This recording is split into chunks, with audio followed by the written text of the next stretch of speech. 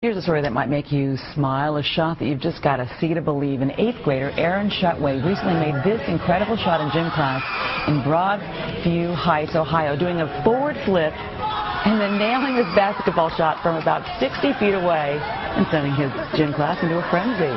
Very popular dude now. It is now 712. Look at that. The, Come the flip alone is great. Whoa. And it was real. It really happened. No tricks with that.